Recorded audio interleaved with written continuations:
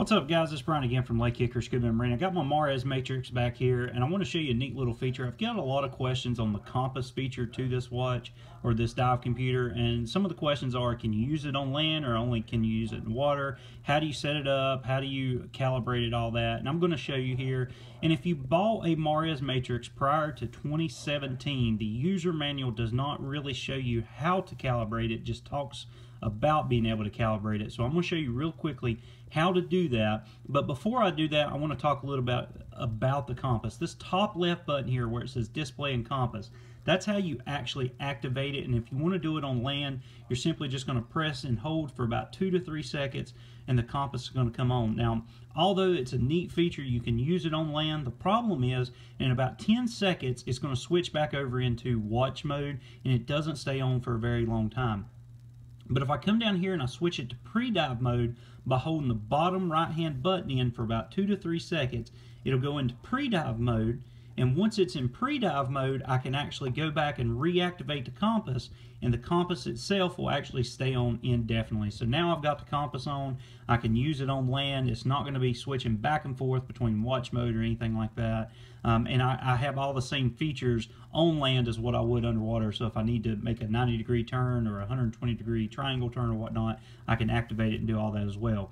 But to show you how to calibrate the compass to make sure that it's reading right, what we want to do is kind of go back out to watch mode and once I'm in watch mode, it doesn't matter. You can either do it from the digital screen or you can do it from the analog screen itself.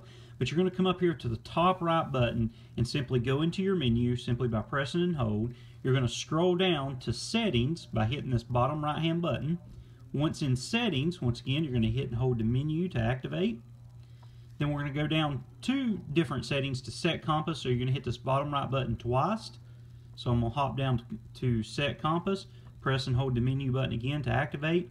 And then I can go in and, and change uh, declination or direction depending on uh, what hemisphere I'm in, you know, if I'm northern or southern hemisphere or whatnot, east, west, whatnot. Uh, but I want to go down to calibrate, and when I get down to calibrate, I'm going to activate it once again by pressing and holding for about two seconds to calibrate button, and I get to this screen here. Now when it says rotate 360, you want to do this on a flat level surface. You can hold it in your hand and do it, but it's a lot easier to do it on a flat level surface. And all you have to do is simply rotate your dive computer 360 degrees and you want to go slow with it. Now I try to do it to where there's no breaks. That means I'm going to constantly turn. If I have to stop for a split second to, to reposition my hand, I can. But I try to keep it rotating the whole time in a slow, consistent manner 360 degrees. Once it's rotated 360 degrees, you're going to come back up here to the display compass button and you're going to simply just back out of all those screens, just press and release until you get all the way back to the main screen. And then once you reactivate your compass, like I said, I'm going to go through pre-dive to do this. Once I once I reactivate my compass, it will be properly calibrated. And I know for a fact north is that direction, which just happens to be where the compass is showing as well. Now, one thing I'll say, the Mares Matrix comes calibrated from the factory. Understanding whether the factory is over in Europe or here in America, you may have to calibrate it or set it for your uh, hemisphere wherever you're at. Uh, whether you want to change it to read true north or magnetic north, that's up to you. But right now, I've got mine calibrated. I know for a fact by my geographical location that north is that way and of course my compass is mimicking that.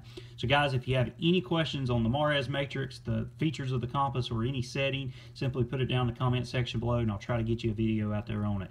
As always guys I appreciate you watching this videos. Make sure you follow us on Instagram and Twitter. Like us on Facebook. Pin us on Pinterest. Subscribe to us here on YouTube. And as always guys we appreciate your business